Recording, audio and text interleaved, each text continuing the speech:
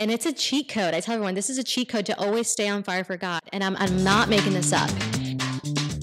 Hey everyone, welcome back to my podcast. I am so excited because today we have a very, very special guest with us. Actually, my first in person guest. Guys, I'm excited about today's podcast episode. I'm going to be introducing to you guys a beautiful, amazing woman of God. Her name is Melina Thomas, and she is a vibrant Latina Christian speaker on a mission to spread joy and words of encouragement to all who lend an ear. With her infectious energy and unwavering faith, Melina has become known for her powerful message Be the First. Melina empowers individuals to overcome the fear of failure. She encourages others to step out boldly, making positive decisions that will shape their future, regardless of their circumstances or surroundings. Her rallying cry resonates deeply with those looking to live a life that glorifies God. Armed with a degree in media, communications, and journalism, Melina has harnessed her expertise to create captivating content on social media. Through her engaging posts, she has reached over 50 million people across the globe. That is amazing. Her ability to connect with people from diverse backgrounds and ages is a testament to her genuine belief that we all need encouragement regardless of who we are. Wow. Let us welcome to the podcast, Melina. Welcome, Melina, sis.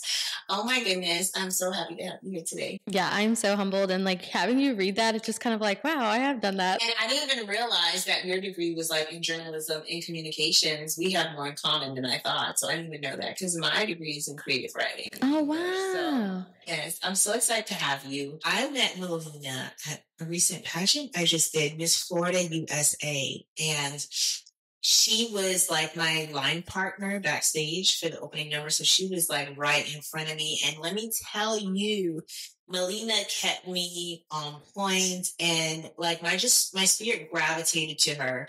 And when I got home and all the girls, we switch social media and we connect, I'm like, this girl is a woman of God. She's talking about the Lord on her platform. I was like, okay, and we're in the same state. I'm like, we need to connect and do a podcast. And here we are today. Yes. And it was so interesting when you reached out, you were like, oh, you know, there was something that gravitated me towards you. And she goes, and now I know it was the Holy Spirit. And I was like, yes. Cause, you know, in pageantry, you never know what to talk about. And so for me and pageants particularly, I like to just lead in love and, and warmth and openness. And then if someone opens the door, you know, I'm going to talk about God. But um, so yeah, it was really awesome. And there were a lot of Christians actually that competed at that system. And it was really great to see the amount of prayer that was happening mm-hmm. backstage in the dressing rooms and in the makeup stations. Like God was present during that pageant. I love that. And you you have that glow. And I feel like when you have the Holy Spirit, like you just know. And I know personally why God led me to compete in that system in pageantry. And I want to ask you, what led you to compete? I know we talked a little earlier and you said like this is a hobby for you. So what kind of drew you into pageantry? Yeah, so I kind of connects back to my testimony. So I can kind of share that. So growing up, um, I was raised Christian. Uh, I was raised into like a Catholic home, and as we got older, I went to Presbyterian churches. I went to Pentecostal churches, non-denominational churches. I just always knew that I loved God. Um, and then as I got older, I went to college and I got my degree. And in my last semester, actually, they had a workshop, an acting workshop. So all throughout my uh, childhood, I loved acting. I did theater when I was in elementary school and middle school. I would do competitions in high school. And so um, I always felt that I was going to be an actor. And my parents were like, that's great, but we're not going to pay for you to go to college to, to be an actor. You have yeah. to major in something else so I majored in media comms. And so while I was there, they had an acting workshop. And so I went and I didn't know at the time, but there was an agent that was there. And so after the workshop was done, he approached me and was like, I want to represent you. I think you have what it takes. Um, and I think that you could be a really big star. Oh my goodness. Yeah. So this was like one of the few times where I felt truly accepted. I mean, I went to a Christian college. Um, you know, I was in the Christian community, and I always kind of felt that I wasn't the right type of Christian mm. woman. Mm. Um, you know, I just I dress with very loud colors. I'm very girly. I'm very outgoing, and I just felt this almost subconscious push to like tone me down. And mm. um, I just felt, and I even remember in college praying to God and asking Him to change my personality because I felt that I was just too, you know, rough around the edges or I ruffled too many feathers or I just stood out too much. Um, and I just wanted to be like a humble, submissive woman. Mm. Um, and so then there's this agent that's like, you have what it takes. You're spectacular. You're phenomenal. And I was like, you know, you know, like this is so new. So I went out um, and I, uh, I allowed him to represent me, and within a very short amount of time, I became SAG eligible. So I was working on, yeah, I was working on TV shows on Fox. I was in commercials. I was in Hallmark movies. I wow. was booking a lot, yeah. And so I booked a TV show on Fox, and I played the best friend of a main character. And when the we filmed that in, in Atlanta, Georgia, and then when I came back, my agent was like, "Hey, we have a really strong feeling this is going to get picked up in LA. You're going to have to fly out to LA for next season, and your life's about to change forever. So I was like, I'm, I'm, I made it. You know, in my mind, I'm like, I'm about to make it. So we have like a little lull between when you know filming stops and when pilot season picks up again, and so we go to Greece. Me and my best friend, we go to Greece together, and for some for some reason, uh, we go to places mentioned in Scripture. And so I'm standing there, right? And there's just this overwhelming feeling of like, the Bible is real. This is real. Mm. You know, this God that you've been, you know, told about growing up is real. These places are real. And like, there's going to be a big change coming. Wow. So I come back from Greece and I'm just like, okay, God, like I feel this call. I don't know what it is, um, but I need you to help help send someone um, because you know i've read scripture all my life but do i understand all of it no and so what is this calling so while i was acting i was also a personal trainer on the side because of the flexibility of hours and there was a coworker there who he told me he was vegan uh, for for religious purposes and that he was a christian mm. so you know little naive me i was like maybe God's telling me to go vegan. and that's the change that I need, right? So I go to him and I'm telling him all this stuff and he's like, "Let's let's do a Bible study too." And I was like, "Sure." So we we ended up doing a Bible study and, you know, I'm I'm dramatic. I'm always dramatic. So um, I sit there and he's like, "Okay, before we get into the study, what are some questions that you have?" And I tell him, "Okay, if Jesus were to come tomorrow, mm. what do I need to know today?" Mm, wow, wow, good question, girl. Very important question. So he sat there with me for five hours and we went through the word. And uh, he told me about the Ten Commandments. He told me about the Sabbath. He told me about the state of the dead. He told me about the Antichrist. He told me about the end times. Like we went deep mm. in scripture. And I was just like, all of this stuff that I've always wondered about. Mm. I felt like I finally was starting to get answers. And it wasn't I think it was this verse says. Yeah. And I hadn't experienced that mm-hmm. before. So within about two weeks from that, I started keeping the Sabbath. And for those that don't know, the Sabbath is just when you read the Ten Commandments, is the fourth commandment. God says, rest on the Sabbath day, do not work, do not make anyone else work for you, and just to keep it holy um, because God rested on the seventh day. So from sunset Friday to sunset Saturday, I don't work, I go to church, I spend time in nature, I play games with my family, and I just really focus on reconnecting with Christ every single week. And it's been phenomenal. It's been life changing for me. Um, but so I started this journey and then acting still there, right? Mm-hmm. Acting still there and I'm still booking and I'm still doing things, right? And so one day I'm like looking through my Instagram and I see this the TV show, right, that I'm in, and I see this post that I made and I'm writing this post and I see at the bottom my caption says, "All for the glory of God." Mm. And in that TV show, I am not doing anything that glorifies God. Mm. I am not saying anything that glorifies God. I'm not wearing any clothes that glorify God. And so for the first time, I realized how much of a hypocrite I really was. And it was convicting wow. and not in a shameful way. It was like, it was a wake up call of like, this needs to change. So then I, I started praying to God. And I'm like, okay, God, if you want me to end this because your girl's stubborn, I need a sign. I need you to give me a sign. And so the auditions stopped coming mm. for like a month. Wow. And I was like, what is going on? I was booking every week. Yeah. Wow. So for them to stop was crazy. And then I was like, okay, God, um, I really don't like this. Uh, I really thought you were just going to say, this is great. Now you're following me wholeheartedly. Now I'm going to bless you and you're going to win an Oscar and all these things. Yeah. But that's not what happened. Mm-hmm. And so then I prayed again. I was like, okay, God, if, if you really need me to leave, like, I need you to send me another sign. And so I got, I believe it was like that week. If not that week, it was the next week. I got an audition and it was for a major film. Mm-hmm. And the description of the character was a hot girl looking for a good time, good sex, and good drugs. That was her description, you guys. I'm, not, I'm not kidding. And I and I was staring at that and I was like, I can't play this role. There's no way I can play this role. And so I go to my agent and I'm like, hey, like, I'm sorry, I'm not gonna audition for this. And he was like, I don't think you realize, like, they asked for you to audition. You're turning them down. Like, you can't do that. You're not famous enough yeah. to be telling people no. Not every seemingly good opportunity is a God opportunity. Exactly. So he told me, he was like, you know, you need to figure out if you want to be an actor or not because you don't get to say no.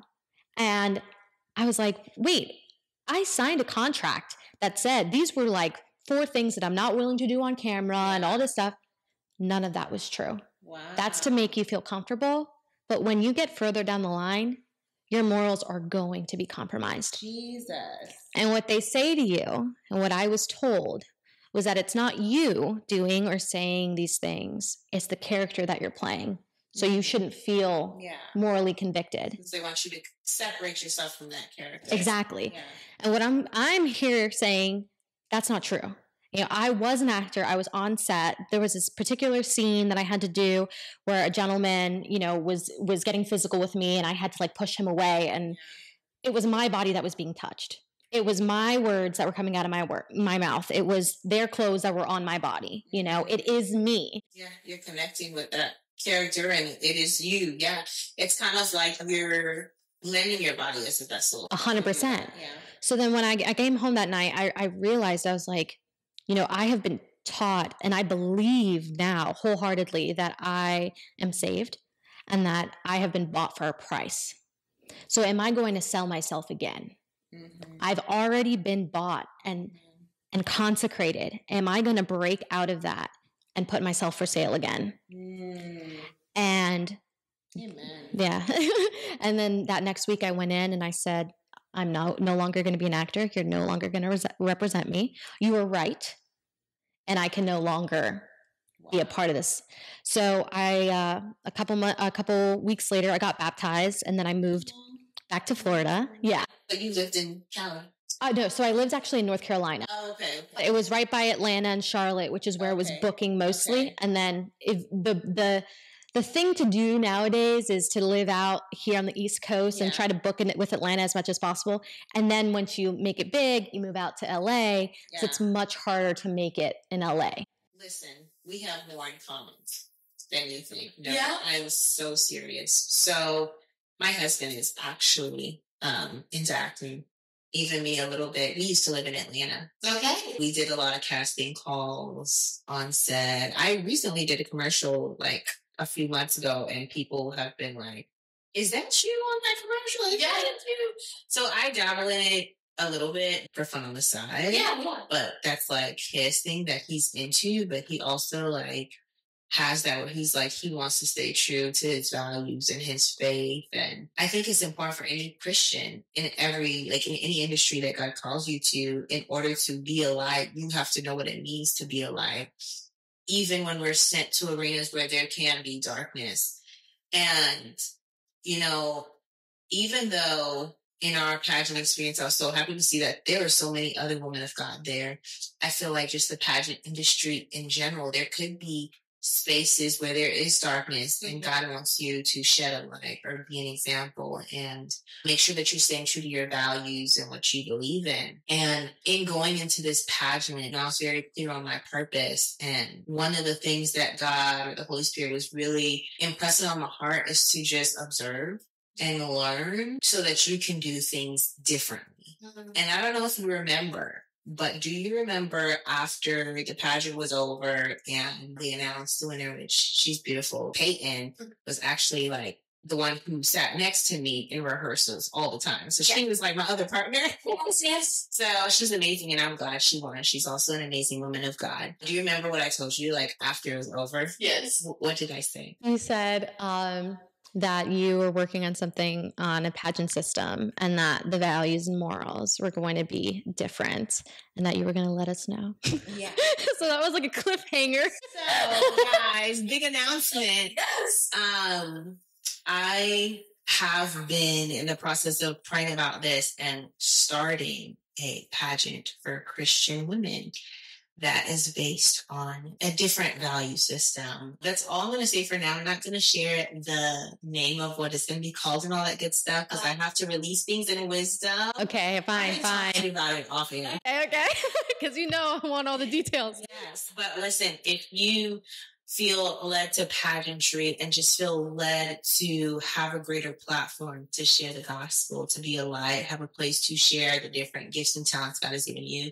I am placing the link in the description just so that you can receive more information and stay in the loop about it. Going back to what you said with your amazing testimony, I am proud of you for making that decision and drawing a line in the sand and knowing what your boundaries are and I also resonate with you where you said, like, you're different, you're unique, like, you're not just this stereotypical image of what a woman of God is. Yes. Like, you are a spicy Latina, you have your own personality. girl. Yes. And I can relate to that. And I've found it like as a struggle because for a season in my life, especially in my 20s, I was bound to that stereotypical box. But I know not just me, but also my husband and I, we've been called to entertainment. We've been called to certain spheres, but to be a light there. Yes. But in order to do that, we have to do things a little differently than how it's normally done. Mhm. And I personally have the gift of an evangelist. I believe that I'm called to evangelize and share the gospel, but I often feel compelled to do it in different ways, in creative ways versus just the regular way that people would expect. So how have you found the confidence after finding Christ to just settle in who God has created Melina to be genuinely mm-hmm. and authentically and knowing that you don't have to be in a box. You can do pageantry as a hobby. You can look beautiful like you look today with colorful, bold colors, but still be a representative for Christ while also keeping that balance to make sure that your life is honoring to him and you're not compromising your values. Yeah. So I think for me, it was, you know, after I got baptized I moved to Florida, I had those about two years of just, I felt consecration. It was just really just me and God. And it was just us two, and we were just figuring things out. And I feel like sometimes God needs to take everything away to put in the things that are important and put in the things that can be used for his glory. And so when I moved back to Florida, four months later, COVID hit.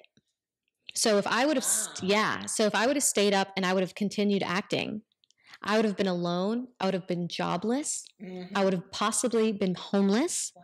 So God called me out of there into Florida, living with my family, with a job that went remote during COVID, My goodness.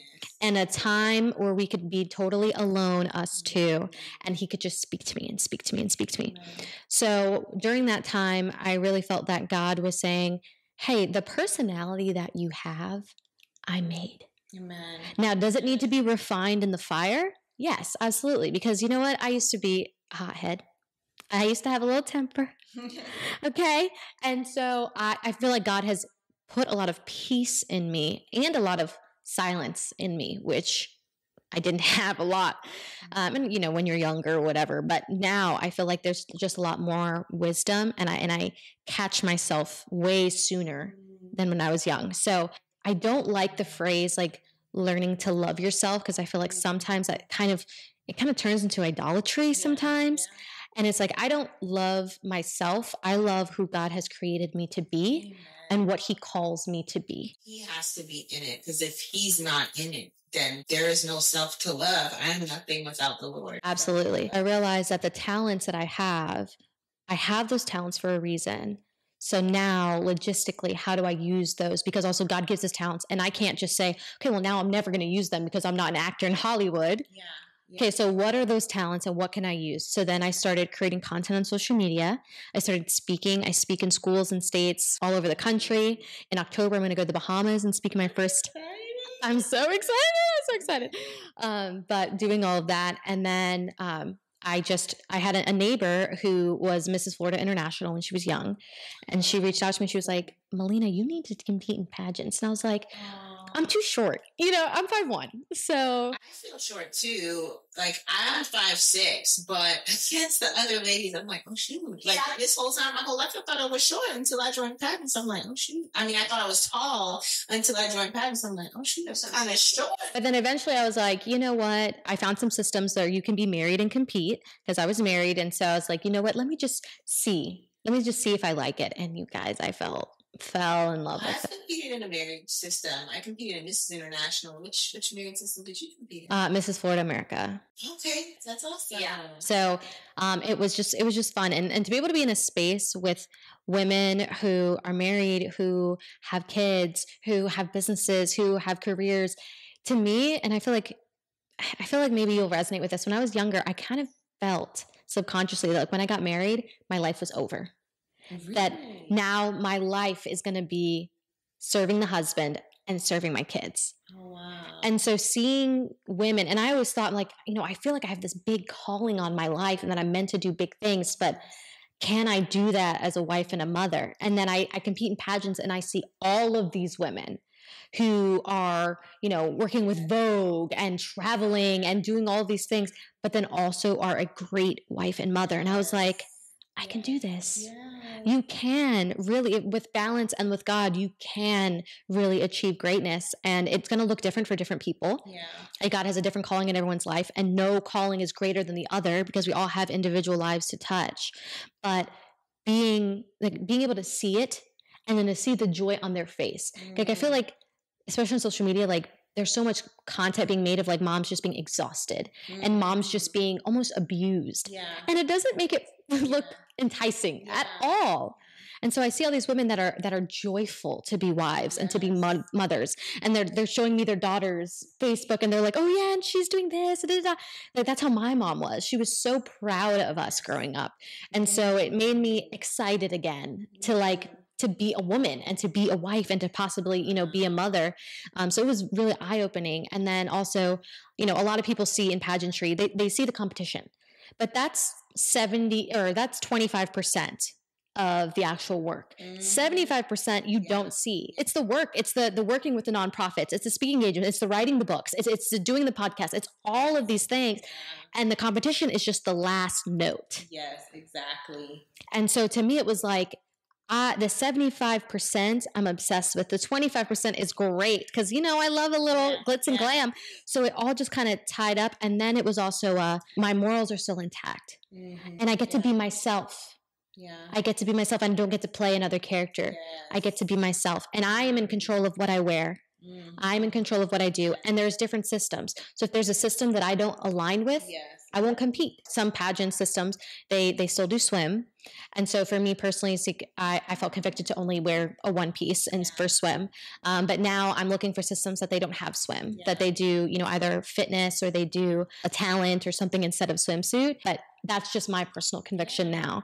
But that was different. You know, last year or two years ago, I was fine with swim. Yeah. Last year, I was, I was fine with one piece. Now I'm like, I just want yeah. I just want to wear some leggings. When it comes to how you want to present yourself, that's a big thing. I have a lot of girls on social media, they'll reach out to me and they'll be like, you know, I feel like Christians push the whole modesty thing and like, what is that about? And I'm like, well, that's the whole podcast. It is. needing to do a podcast about that. You might have to come back for us to talk about that, but yeah, it's the whole thing. Yeah. And for, for me, it's like I have a, an easy, just like one liner. It's like I constantly want to be dressed in a way that if I was face to face with God, that I would feel comfortable. Mm-hmm. And that's it. Yeah.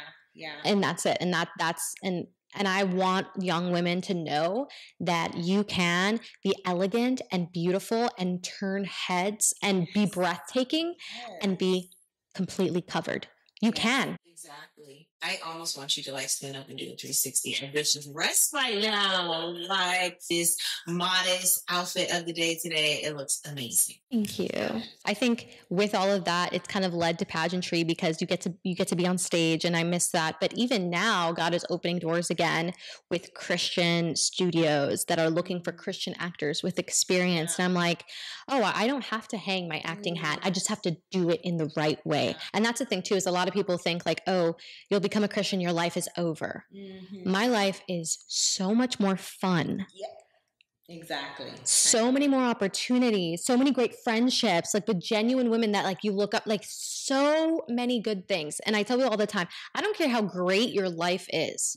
I don't care. I mean, I was an actor, I was a successful actor, and I decided to follow Jesus. I don't care how great your life is, God is going to make your life better. Yes. Every single time. We're going to pause a little bit because Melina is actually an author, and I want to share with you guys a little bit about something she wrote, and we're going to talk a little bit more about her book. Fill me up. I'll have whatever she's having. Does this sound like you? You feel a calling to change your life for the better but you're not sure where to start. You want to grow and make lasting positive changes that will improve your relationship with God, yourself, and everyone around you. You've met people who have this inner light and joy, and you want to have that too.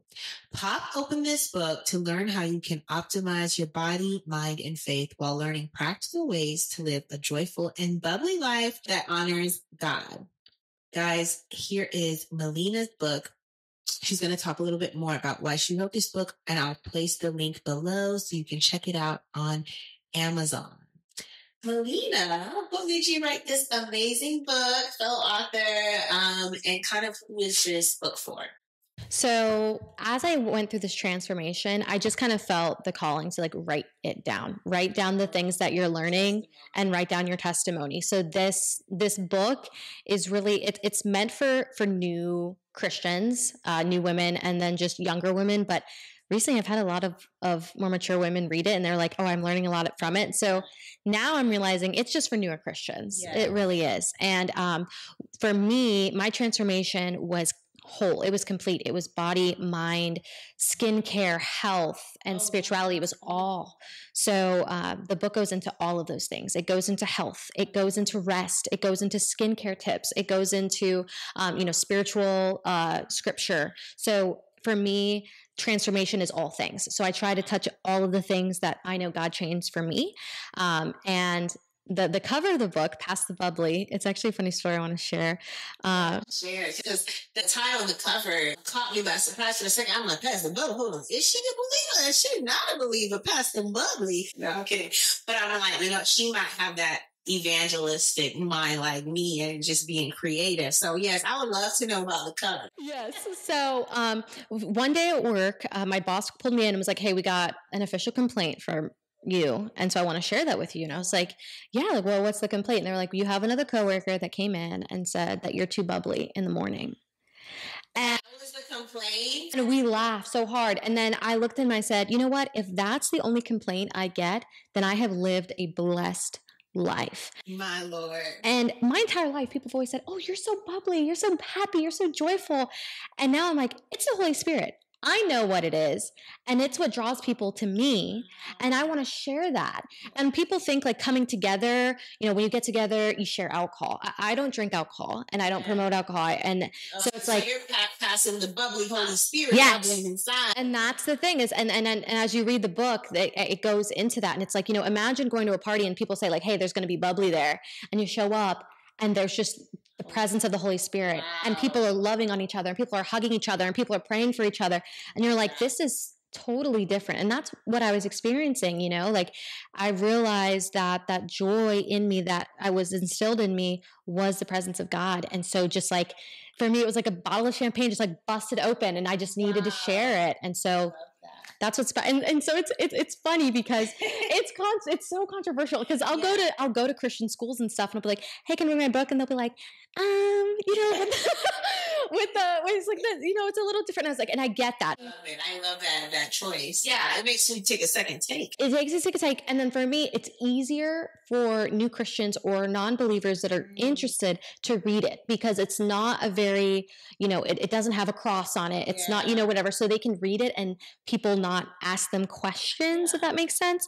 So um, it could be like their secret because I have I have some followers that they'll reach out to me and they'll say like their parents, for example, don't allow them to read the Bible or don't allow them to read Christian content. Okay, so they can have that. They can have yeah. that. Exactly. crazy though. That is, I saw um someone the other day say that they got in trouble because their mom found a Bible in there. Yeah. like, that is crazy. So we we have to be thankful by the way that we live in a nation yes. where we can have Bibles and stuff. And um, going back on one of the things that you just said, just about how um, we can be involved in these things, but do it the right way. I just feel strongly to say, like, sometimes we have to just build our own kingdom platforms to begin with. Like, if you do feel called to be an actor, if you do feel called to, you know, make movies or do these different things, like sometimes God is going to lead you and give you the the faith that it takes you may have to build your own production company. You may have to build the resource. You may have to build a platform for it. You know, we have to create the shows for our kids. Like we have to create the things that we're not satisfied with that the world gives us and just make it kingdom. So I just felt led to say that there, but um, I love that, that, you know, your book is reaching newer believers and, um, just presenting it in a different and fun way. And it's just showing your personality as a woman who Christ has redeemed. Who is your favorite person in the Bible besides God? Oh, so my favorite person in the Bible is actually Noah. Okay. And it's it's for different reasons. So what I love about Noah is the only thing that describes Noah in scripture is that he was a man and he followed God. Mm. That's it. So it doesn't say that he was the best carpenter. Wow. It doesn't say that he was the best sailor. Yeah. It doesn't say anything. All it says is that he was a man that followed God. So not only did he follow God, he trusted God mm-hmm. that he would be there to help him build this humongous thing that had never been done, mm-hmm. right? He also trusted in God to get him and his family into this thing that he had no idea how to control. Wow. And God was with him every step of the way and he trusted in God to keep him safe. Mm-hmm. So a lot of times people think like, okay, God's going to use me to do this thing because I have these amazing skills. No, God doesn't look for skill. God mm. looks for obedience. Every step of the way he looks for obedience. All the people through scripture, you'll see they they didn't want to speak or they didn't want to go into politics. They didn't want to do these things, but God said, "You will obey me and I know that you will do it with my heart and you will listen to me, so I'm going to give you the power to do so."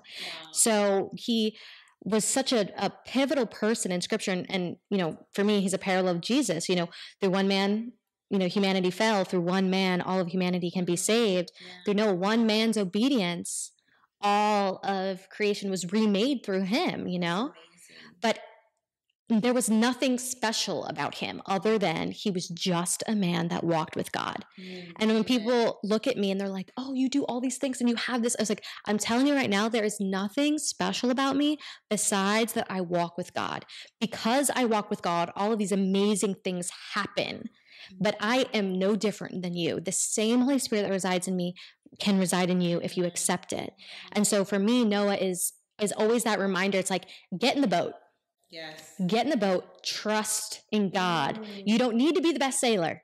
Just yeah. get in the boat. Amen. Amen. I love that. And it's crazy that you mentioned Noah. Maybe like once a month, I keep my kids home and we do home church so that I can practice teaching them the word of God from home. So last Sunday, that was our time to do that. And we went over the story of Noah. And one of the things that I was sharing with my kids that stood out to me about this is Noah had been building that boat for weeks. You're talking about getting a boat, but before we can get in a boat, it's like build the boat. Yes. Right? That huge boat with all these animals. And it's like, he was building a boat for so many weeks and people were probably talking about him or laughing at him. We're like, I don't see any rain. What is this guy doing? Didn't want to get in a boat with him. Just we're not on board with it. And despite that, he still had a word from God and he still stuck to it. And he still was obedient and he still went for it. And you may find yourself in a place in life where God is telling you to build something. God is telling you to get in a boat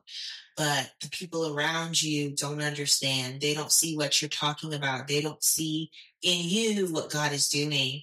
But do not let that discourage you. Be obedient, keep building, keep building, and trust me, one day everything that you built you're gonna it's gonna be put to use. I think it's crazy that you shared that because literally that's what we're studying and that that goes perfectly into like my major message which is be the first.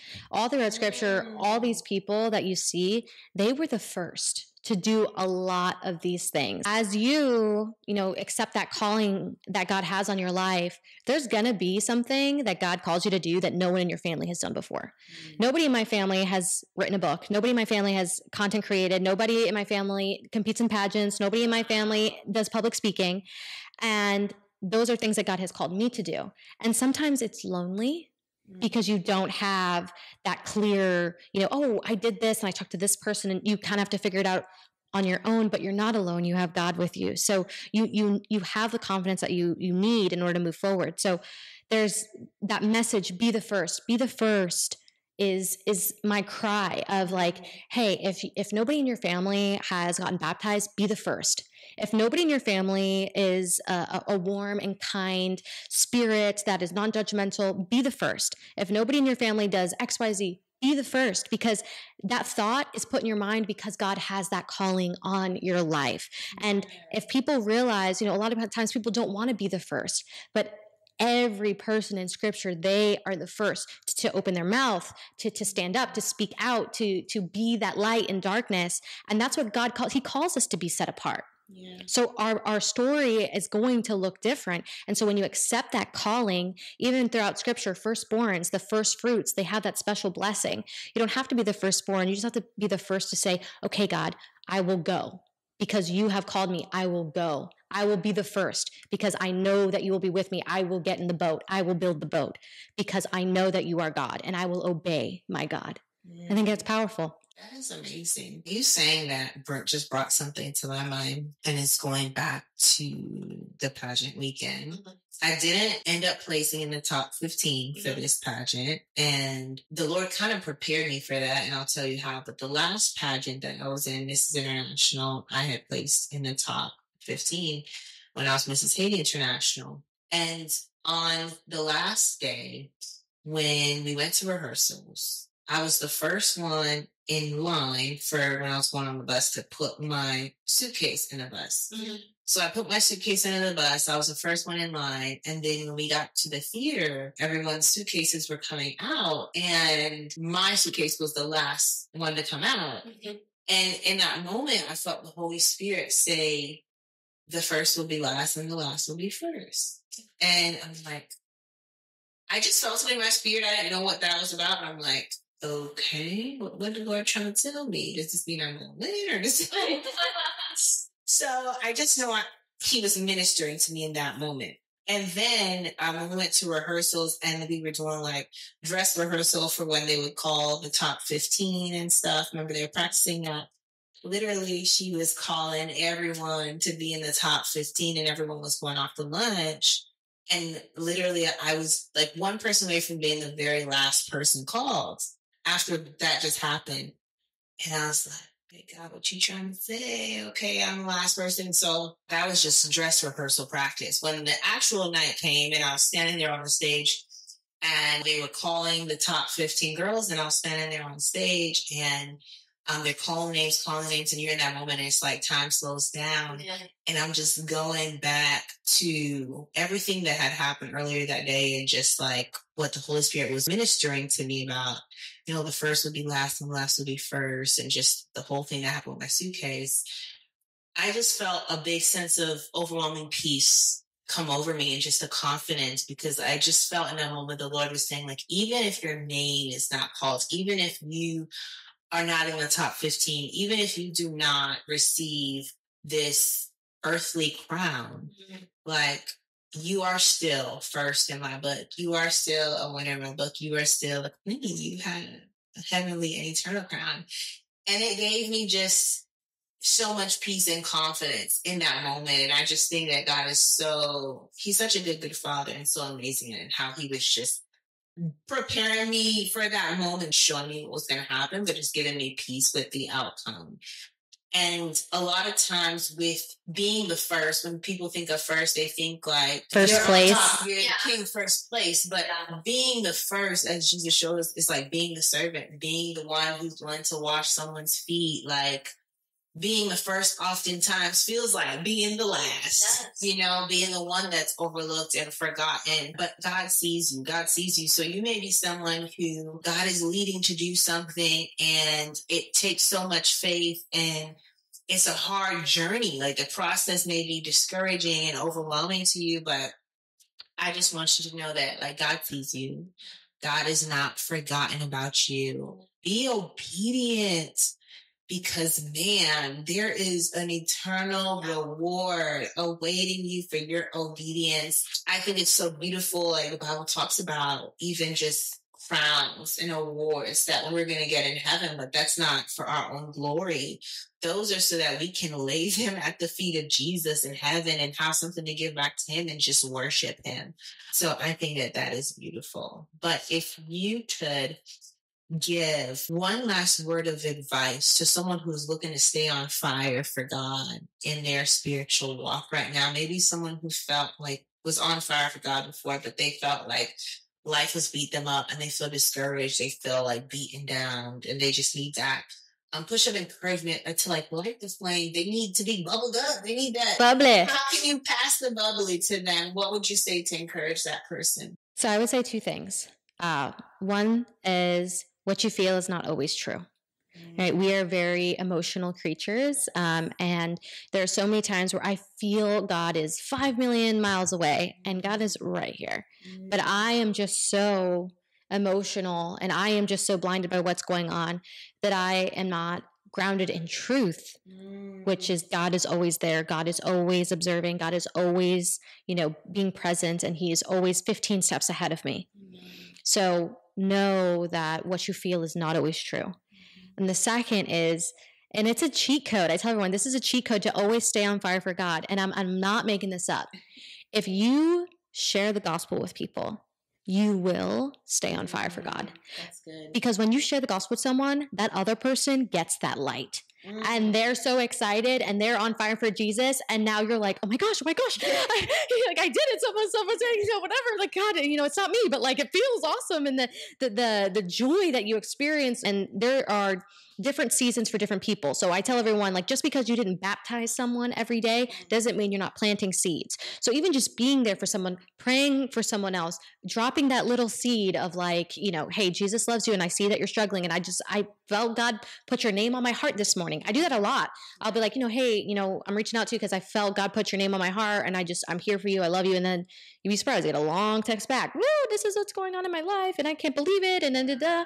and I'm just like, okay. And two seconds like it's two seconds of your time so when you're constantly just sharing the gospel and being a servant to other people mm. and and you don't have to be a pastor i'm not a pastor yeah. you know just a regular human being interacting with people doing that in, in a way that glorifies god you will stay on fire because god has a way of just set, like sending you moments to keep you mm. fired up so you'll have a, a conversation you know this is going to keep me fired up for weeks this conversation.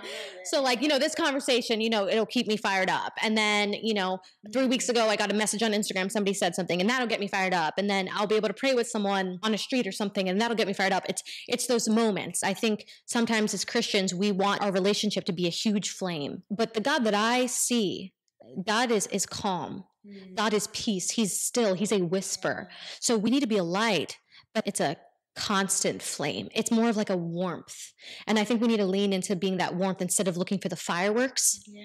Because the fireworks come and go, but the warmth of God mm. it should be constant. So it's great to to want those firework moments, but tend to your flame And by tending to your flame, you're sharing the gospel, you're staying in your word every day, you're praying with God every day. And even if you don't want to, you're continuing to do that. God's going to bless you for that obedience.